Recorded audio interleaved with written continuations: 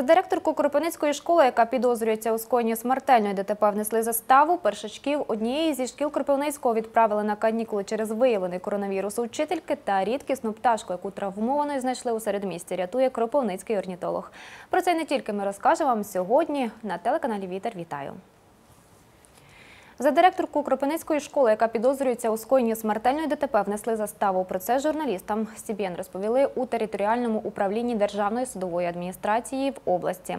Нагадаю, подія сталася 4 вересня на вулиці Чекаленка поблизу стадіону Зірка. Водійка Нісану на пішохідному переході збила і переїхала 51-річну кропивничанку. Від отриманих травм жінка загинула на місці. Підозрювані обрали запобіжний захід у вигляді 60 діб тримання під вартою з можливістю внесення застави у сумі понад 168 тисяч гривень. відповідно до банківських виписок казначейства на депозитний рахунок територіального управління ДСА України в Кіровоградській області. Надійшли коштів такі та сумі за призначення платежу забезпечення виконання рішення відповідно до статті 182 КПК України. Так, платник Яровий Володимир Артемович. Майже відсудили свої кімнати мешканці гуртожитку по проспекту Університетському 21 у Кропивницькому. Приватизувати помешкання, в якому живуть, люди намагалися впродовж 11 років. За свої права боролися у суді, десятки разів влаштовували мітинги та перекривали рух на дорогах області. Вдавалися до таких дій після того, як їхній гуртожиток викупив місцевий підприємець. Нині суд скасував рішення на право власності. Наразі мешканці планують приватизувати свої кімнати. Суді, і в п'ятницю винесли судді рішення на користь міської ради скасувати свідоцтво на право власності на гуртожиток, на будинок по проспекту університетський на фірму Вагран. Залежить від е, міської влади, так як вони. е, Обіцяли, що коли ми скасуємо свідоцтво на право власності, вони нам нададуть приватизацію кімнатам, в яких проживають люди більше 20-30 років. Дистанційне навчання через коронавірус частково запровадили у 14-й школі Кропивницького. Про це під час брифінгу розповіла начальниця управління освіти міськради Лариса Костенко. На COVID-19 захворіла вчителька першого класу. Відтак усі першачки пішли на канікули. Решту школярів початкових класів відправили на дистанційне навчання. вжиті заходи щодо надання списку контактних осіб батьків, які е, контактували в цей період з вчителем, і вжиті всі заходи для того, щоб е, е, попередити розповсюдження цієї хвороби. Тобто орієнтовно, якщо все буде гаразд, після е, 12 числа у нас буде прийматися рішення щодо переходу на з дистанційного навчання на навчання в школі учнів перших-четвертих класів. З рогатки по вікнах стріляв 49-річний чоловік у Кропивницькому. Надії Кропивничанина поскаржився один із постраждалих, що живе на проспекті Перемоги. Заявник повідомив, чоловік робить це не вперше. Хулігана патрульні знайшли. У рюкзаку у нього були дві рогатки і металеві кульки різного діаметру. Рюкзак. Пожалуйста. Рогатка. Заявник одразу впізнав виявленого громадянина. Надалі поліцейські встановили, що ймовірний зловмисник вчиняє ці дії вже не вперше. Для встановлення всіх обставин події патрульні викликали на місце слідчо-оперативну групу. На місці чоловік відмовився зізнатися в скоєному.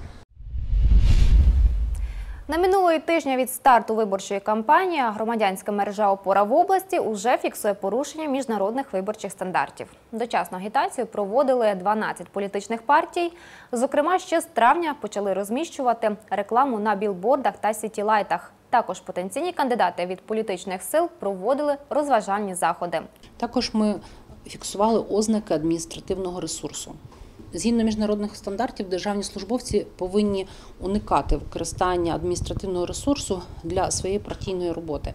І в Кіратській області ми фіксували е, в двох випадках, е, зокрема в Долинському районі і в місті Кропивницький під час візиту президента України. Ми фіксували ймовірні ознаки цього адміністративного ресурсу. Звання почесного громадянина міста присвоїли колишньому голові обласної ради Миколі Сухомлину. Таке рішення прийняли депутати міської ради Кропивницького на другому засіданні сесії. Микола Сухомлин був депутатом обласної ради чотирьох скликань та головою ради старішин при облдержадміністрації. Атрибути звання почесного громадянина вручать на святкування Дня міста.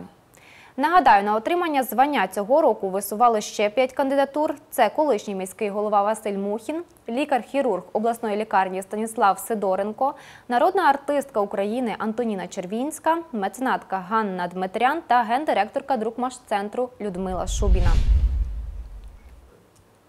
Рідкісний вид чаплі знайшли у центрі міста жителі Кропивницького. Бугайчик не зміг злетіти, а через травмовану лапку і пересуватися. Як маленька чапля опинилася у середмісті, невідомо, адже селяться вони здебільшого на болотах. Орнітологи припускають, бугайчики залишають свої гнізда через осушення боліт та спотворення річкового русла і берегів людьми. Що наразі зі знайдою і де знаходиться, знає наша Ірина Вернигора.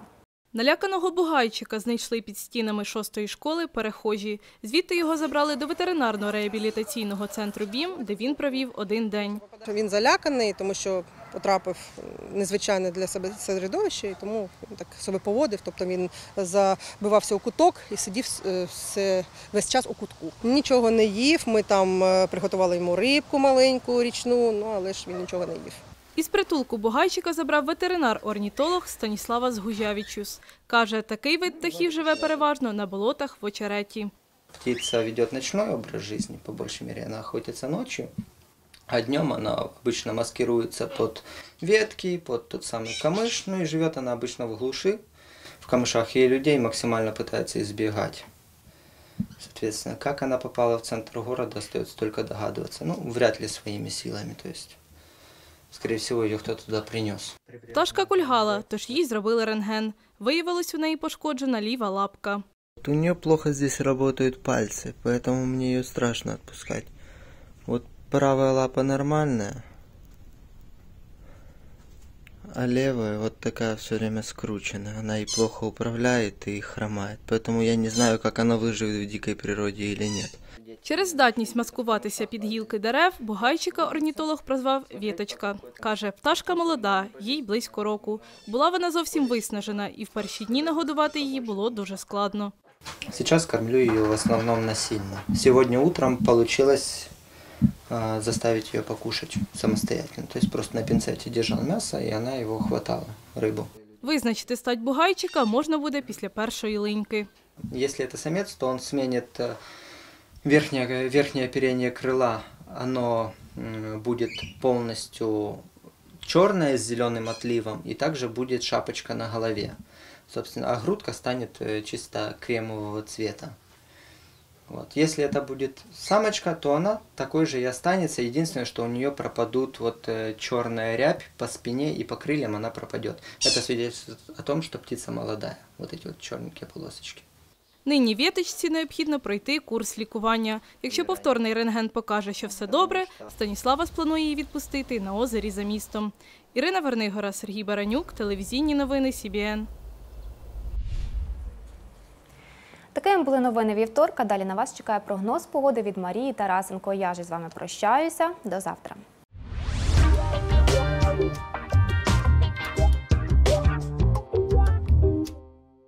Вітаю в ефірі прогноз погоди.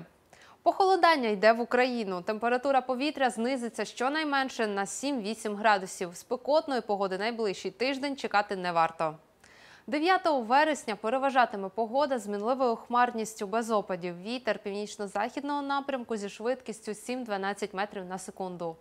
По області в день температура повітря коливатиметься від 22 до 27 градусів тепла. Вночі стовпчики термометрів покажуть 8-13 градусів із позначкою плюс. У місті Кропивницький очікуємо в день від 23 до 25 градусів вище нуля.